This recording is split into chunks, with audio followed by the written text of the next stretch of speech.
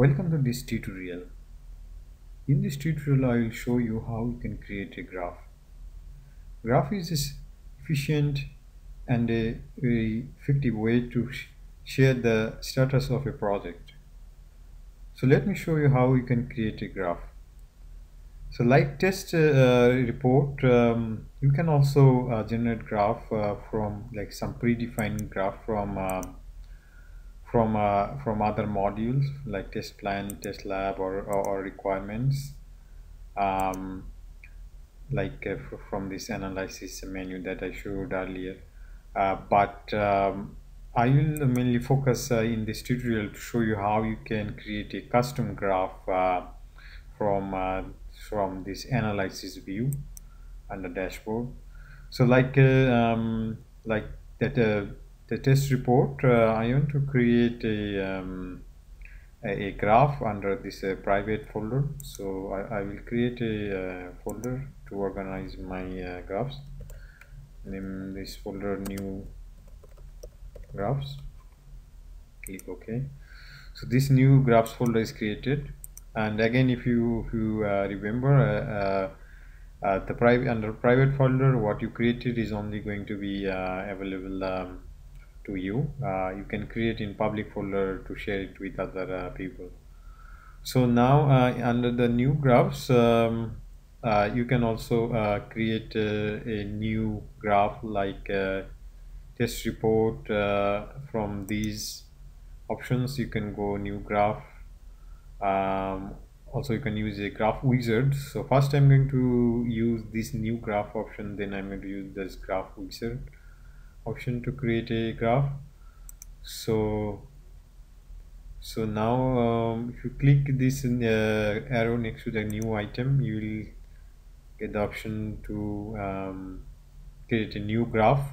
Um, so if you select this so with this you can only have option to create an entity graph which uh, you can uh, you you can uh, create graph based on different entities but there is another way to create graph based on the business view which is mainly focused on the business perspective.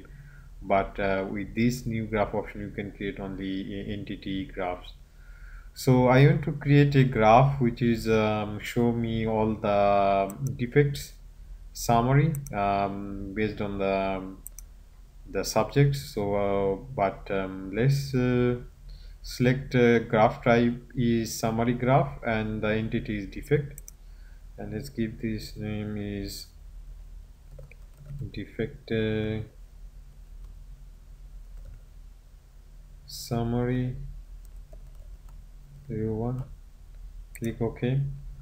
So now you can see um, this graph is uh, is created. Uh, now we want to uh, define a few uh, information that how it's going to look so right uh, we want on the x-axis we want um, uh, the subjects. What, what I want to see like which subject area of that application like which area of the application has how many defects. So for getting this so you can select any, any of this information based on your requirement. So i'm going to select the subject and on y-axis i want to see the count of those defects. Uh, and this uh, what i want group by status so now if you click, click view this tab. So now you can see uh, on your y-axis uh, there is like number of defects and the x-axis you have different subject area name like uh, uh, book flight uh, cancel reservation now uh, and you can also see the total number of defects.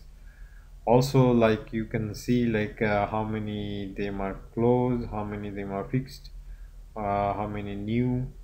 So you can see you can have a like a, a overview kind of um, information from here like uh, getting all the defects exist based on those subject area so this is a bar type uh, um, graph. You can also see you can see the bar chart.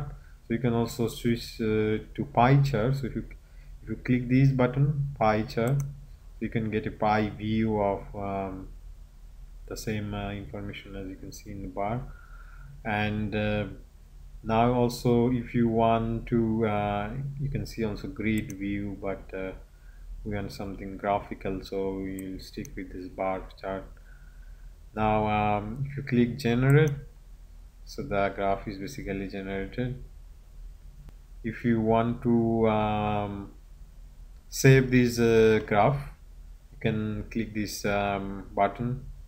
You can save it as a image and you can uh, share it with uh, um, other people. So let's say going to can have option to set it, save it as a BMP, JPG, PNG.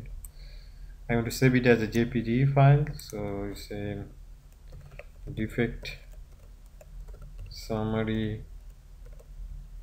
01 and save. So now that graph is saved so if you go to test folder so we can open this. You can see this graph is now saved. Um, so now uh, let's go back to um, to our graph. And um, we want to um, create another new graph but this time we want to do it uh, using graph wizard. Uh, the good thing about using the graph wizard is uh, you have less probability to miss any any any option. So let's click graph wizard and as you can see in the graph wizard you have both option to create a business view graph or entity graph. But um, as we want to creating entity graph so select create entity graph and then click next. Uh, again we are going to create this uh, summary graph based on the defect and click next. And um, do you want to use any uh, filter? Um, this time we want to use um, sum filter. Let's uh, define a new filter. Okay now I want to define a filter based on the status. So we'll say oh, we want to see only which are uh, currently um, say uh, open. Okay click ok. Click next we don't want to uh, on x-axis again we want to see it by subject area. And then we click uh, finish. Now you can see we have a graph here which is showing us the number of defects. Um, and but only um, the ones are opened. So uh, based on the subject area which are open which is showing here so you can see in different subject area how many defects are opened.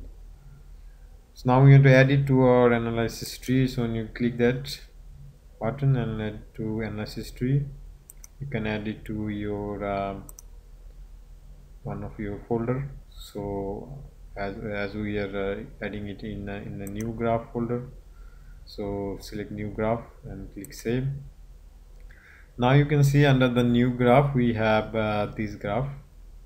So this way you can also create a graph by using graph wizard. And again uh, like um, that previous graph you also can uh, switch it to pie chart if you want um, uh, and you can also save uh, this graph if you want and or also you can print it so that's it for this tutorial so in this tutorial you learn how to create a um, customized graph uh, using both uh, create graph option or using a graph uh, wizard um, Thank you for watching and I hope you enjoyed this tutorial.